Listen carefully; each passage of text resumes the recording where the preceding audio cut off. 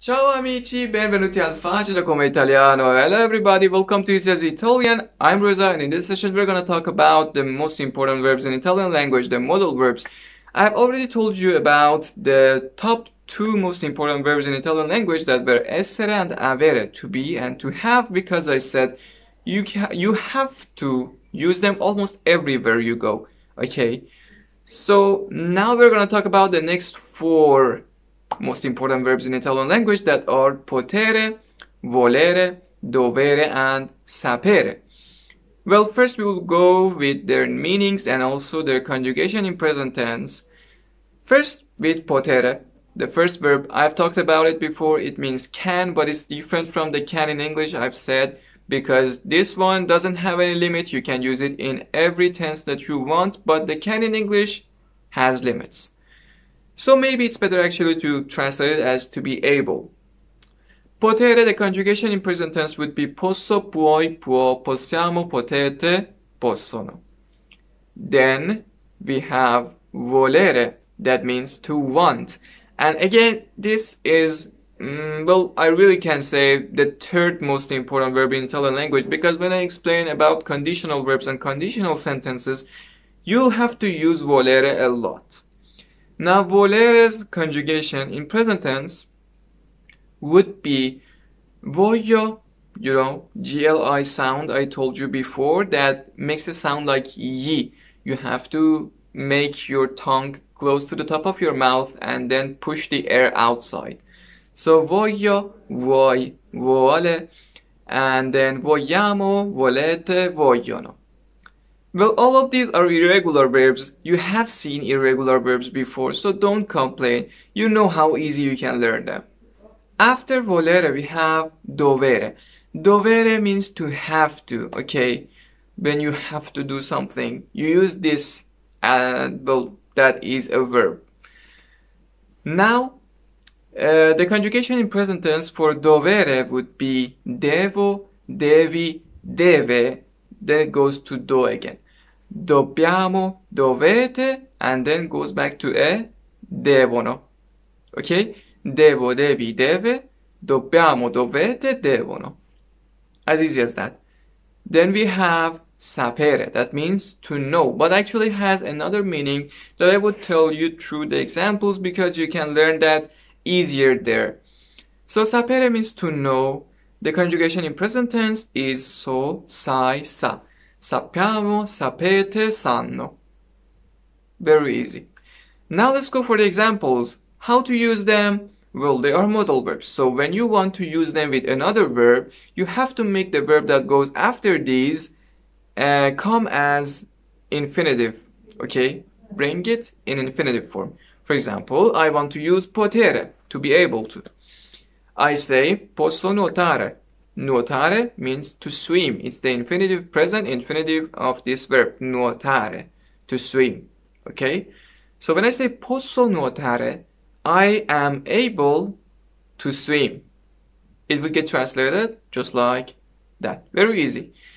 Now, for example, uh, I can use other things like if I want to use volere, I can say vogliono venire con noi, for example vogliono, they want.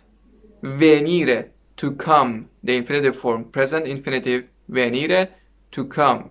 So vogliono venire, they want to come, con with noi, us.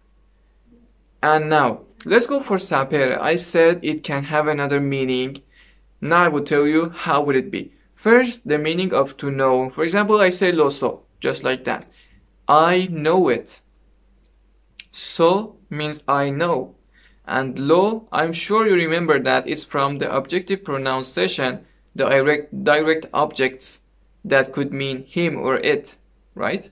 So lo so means I know it or I know him, but well, it is actually better. I will tell you later why. Lo so, I know it.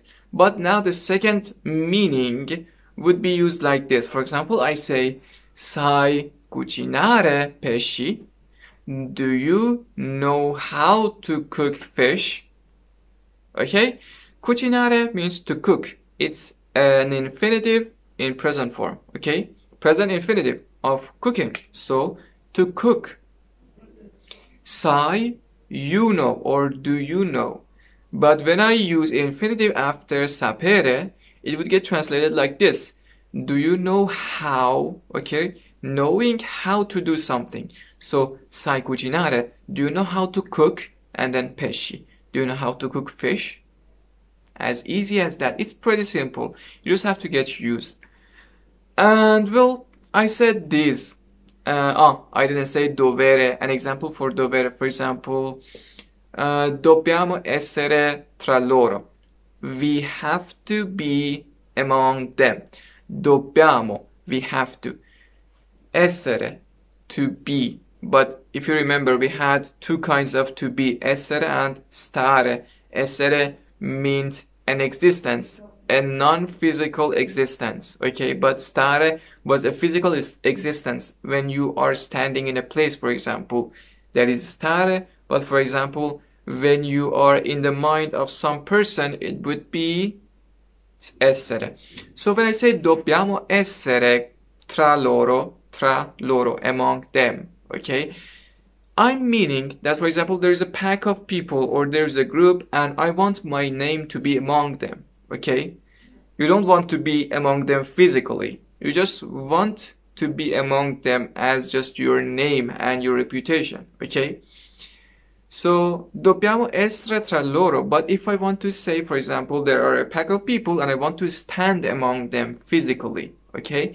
Then I should use stare. Dobbiamo stare tra loro. We have to stay among them or stand among them, okay? Now, let's say we learned this. Now let's learn passato prossimo of these verbs. I just taught you passato prossimo in the previous session and I said it's very important because it's just like simple past or present perfect in English language. So you have to learn it if you want to go further. Now, uh, let's, for now, see the passato prossimo form of these verbs, the past participle form of these verbs. Well, I've already told you the passato prossimo of potere, that was potuto. Okay, I said that you just have to take ere and add uto. Mm -hmm. Now, if you look at the rest of the verbs, they all end with ere and have the same situation. So you just have to take ere and add uto. Potuto, dovuto, voluto, saputo, just like that, very easy. But now I have a tip for you. If you remember, I said that when you want to make a passato prossimo, you have to put avere or essere in present conjugation. And then you put the passato prossimo form of the verb that you want. Okay?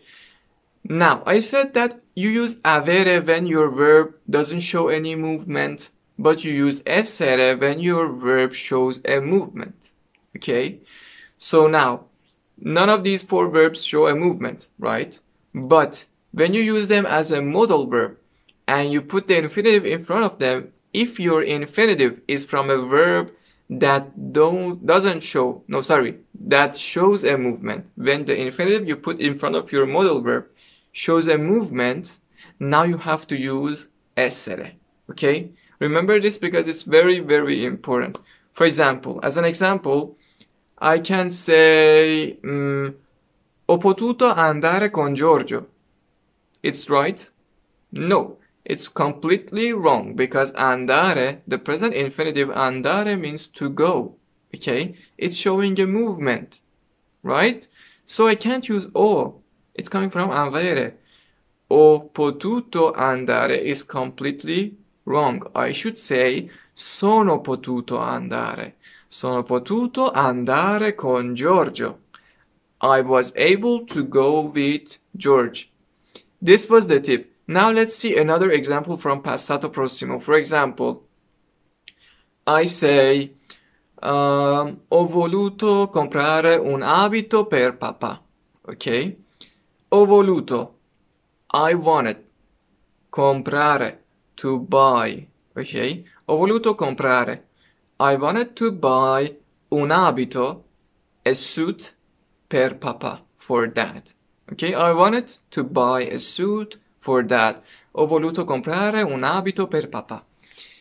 And well, just like this, the session is finished. You learned it. Let's see how much far further you can go. And well, it was a very useful uh, 10 minutes, I guess. I hope you've enjoyed it really and please remember to drop the like and also subscribe the channel for the next sessions to come. We're gonna learn Italian in the easiest way possible. See you in the next couple of days.